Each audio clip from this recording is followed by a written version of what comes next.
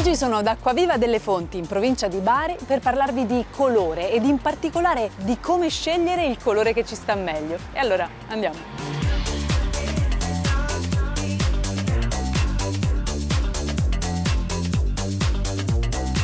Antonella, io credo che scegliere in modo consapevole il colore da indossare sia molto importante. Per esempio, io amo il beige, ma Giancarlo mi dice che sono troppo chiara per indossarlo.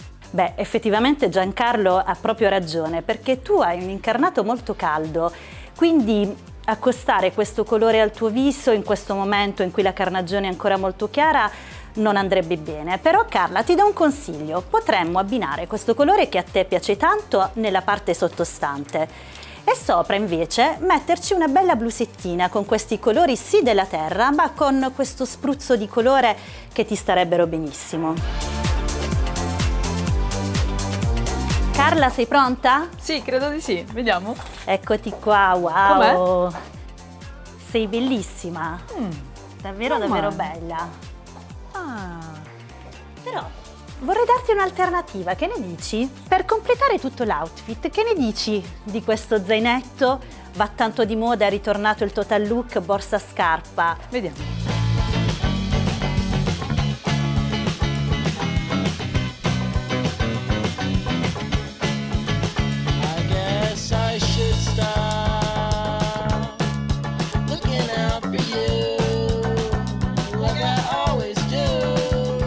Carla, dato che ti piace tanto il beige, che ne diresti di questa alternativa vestito sempre con base beige e questi colori che ti ravvivano tanto? Sì, mi piace, lo provo? Provalo!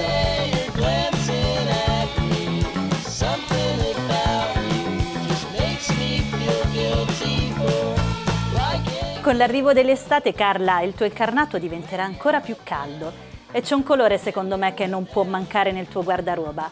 È il rosso. Mm. E io provo anche questo.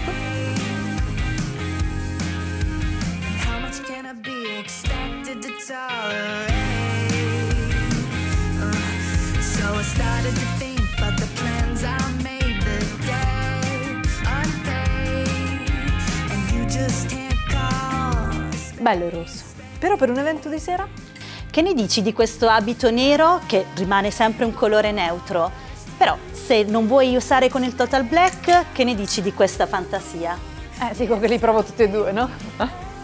Grazie.